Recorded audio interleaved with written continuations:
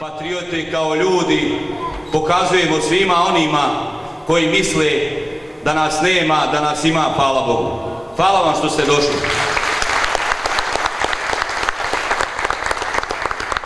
ASDA od svog osnivanja pa do danas trudi se da okupi u sve redove iz našeg naroda ljude koji u srcu nose svoju domovinu. Samo iskreni patriota i čovjek koji u srcu nosi svoju domovinu može da radi besplatno za svoj narod, može da se trudi i bori za svoj narod i može ako treba da pogine za svoj narod.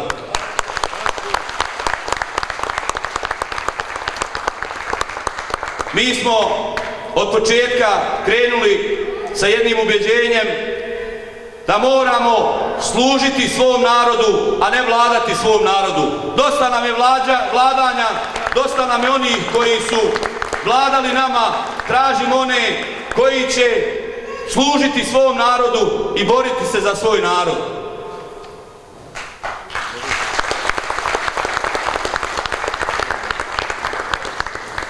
Naš narod kroz istoriju pokazao je mnogo puta da može uz Božju pomoć da se odbrani.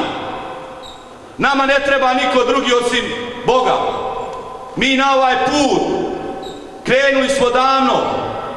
Tu je među nama naš prvi predsjednik, gospodin Husein Muratović. Ja vas molim da ga pozdravite jednim velikim aplauzom.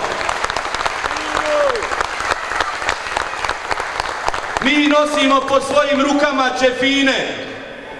Ne bojimo se nikog drugog osim dragog Boga. Oni koji misle da dijele Bosnu i Hercegovinu, nek odmah zaborave, nek se povuku. Niko nikada neće ovu zemlju podijeliti jer ova zemlja je pokopala mnoga veća carstva od ovih ovamo livadića koji nam se sad nameću da nas dijeli.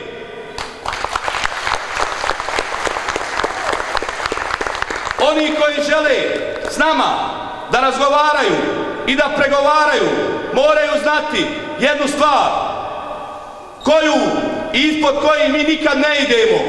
Ne dirajte nam državu, ne dirajte nam vjeru, ne dirajte nam porodicu i čast i onda dođite i s nama razgovarajte.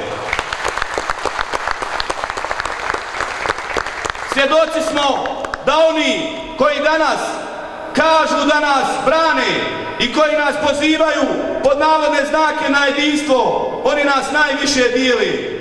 Političari su ljudi koji se moraju boriti za bolje sutra našeg naroda. Nažalost, to su danas ljudi koji nas najviše dijeli. Mi se u Zavnovićima ne borimo za zološki vrh, mi nismo životinje, mi se borimo za općinsko vijeće i da nam bude bolje.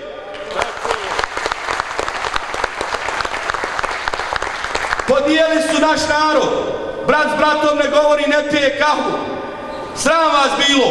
Svi oni koji dijele naš narod mogu lagati nas, ljude, ali ne mogu slagati dragog Boga.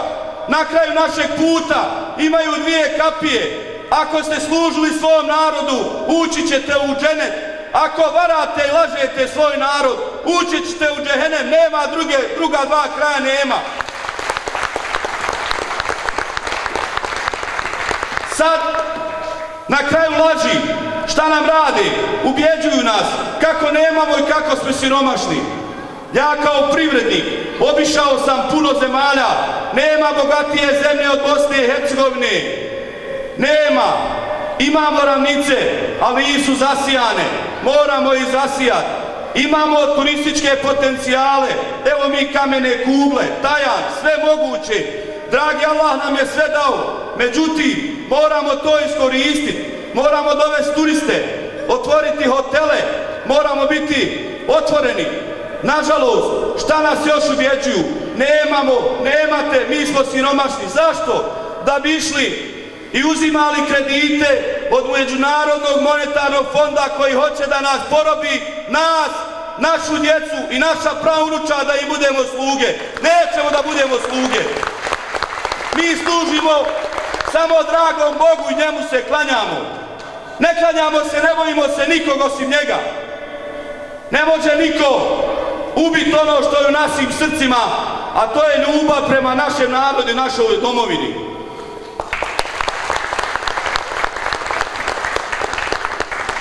Nema države na svijetu gdje ćete sad pokucati na bilo koja vrata, u bilo kojem selu, da vam neće biti otvorena, da vam ljudi neće ponuditi kahvu, da vas neće pitat jesmo gladni.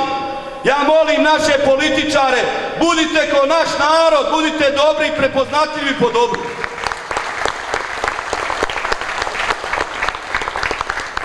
Vidjeli ste da imamo program. Oni drugi nude neke sveske. Dosta nam je sveski raznih boja.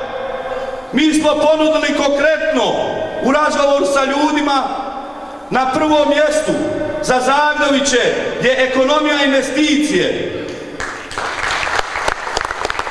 Ekonomija je motor svakog društva. Ako razvijemo ekonomiju, ako dovedemo investitore, sve ćemo ovo drugo riješiti. Jel tako? Sve možemo riješiti kad imamo para. Ne možemo bez para ništa. Možemo samo ići tamo prositi od naših neprijatelja koji su pustili 95. da nas pobiju u Srebrenicu. Mi od njih nećemo pare. Mi možemo zaraditi u svojoj Bosni, u svojoj domovini. Ulazimo u ciklus. Oni koji slave, želim da im čestitam novu hidžetsku godinu. Nova hidžetska godina je ko Bog da drugog.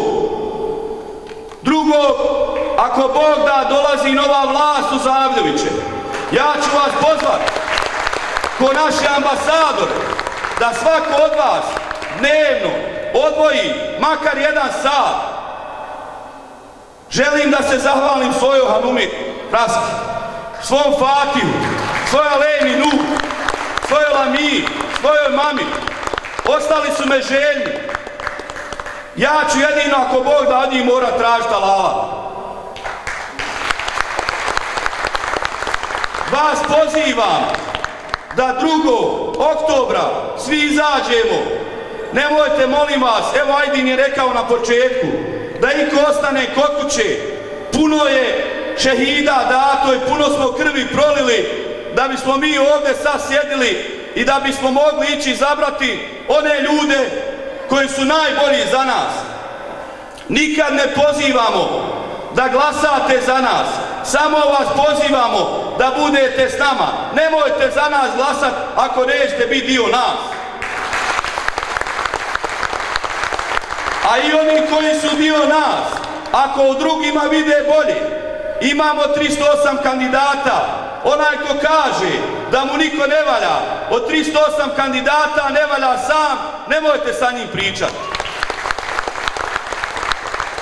Ja vas molim zbog naše budućnosti, zbog budućnosti naše djece, da nam sutra ne bi bilo žao, da izađemo 2. oktobra, da izaberemo ono što je najbolje za našu domovinu i za naše Zavdoviće, za sve nas, za našu budućnost. Neka živi jedna jedina naša domovina, Bosna i Hercegovina. Allah imanet prijatelj.